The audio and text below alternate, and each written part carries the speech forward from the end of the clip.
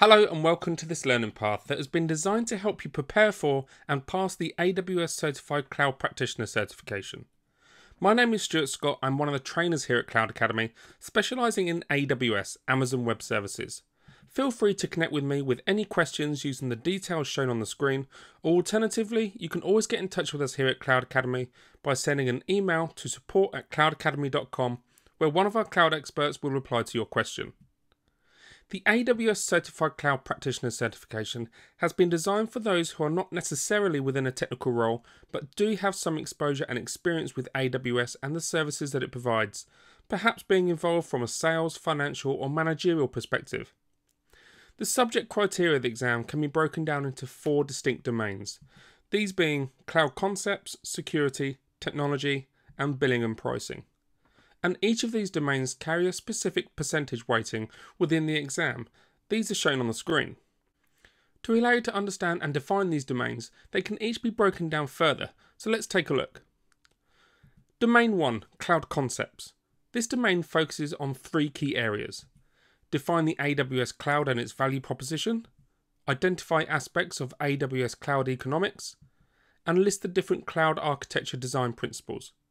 This will test your knowledge of general cloud concepts and principles, looking at the benefits of the cloud and what it can bring to your business from both a financial and operational perspective. Domain 2 Security. This domain looks at four components of cloud security.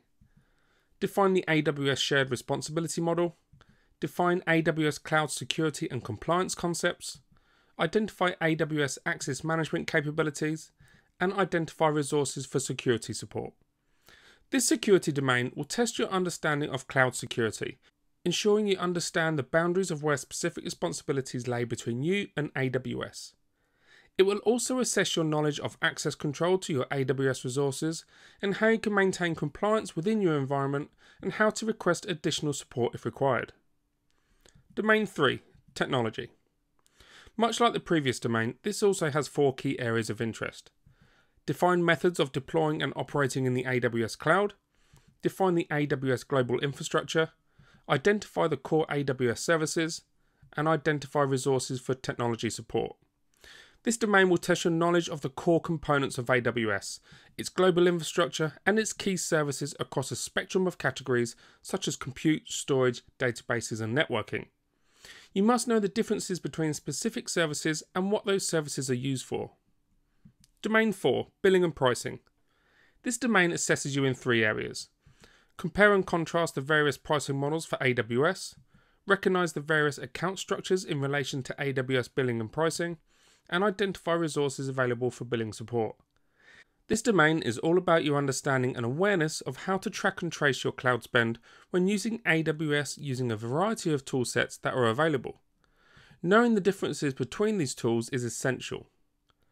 This learning path is comprised of a number of courses and hands-on labs that cover all elements within these domains to ensure you have the required knowledge and sufficient understanding to enable you to pass this certification.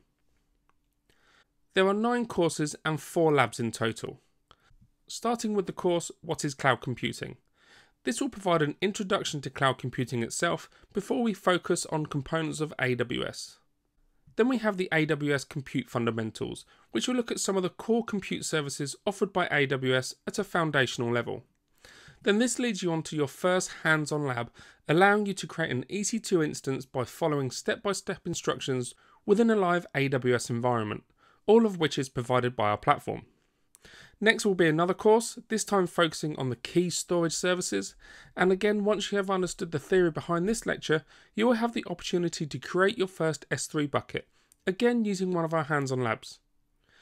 Database fundamentals will then follow this lab, which will introduce you to services such as RDS and DynamoDB. And you can then create a relational database service instance by following the step-by-step -step lab. Networking Fundamentals is next, which introduces you to essential networking elements of AWS, including virtual private clouds, which then leads nicely onto the final lab of this learning path, which provides an introduction to what a VPC is and how they are created. Security Fundamentals introduces you to some of the key security services that are used to control access and secure your environment. The Management Fundamentals course focuses on the services and features that are available to help you manage and operate your cloud resources and infrastructure. AWS Architecture Fundamentals provides an understanding of the global AWS infrastructure and how to deploy services and solutions upon this infrastructure using best practices with the help of the well architected framework. The AWS Cost Management and Customer Support course looks at the different pricing and support plans that are available and the toolsets that are available to help you manage and monitor your cloud spend.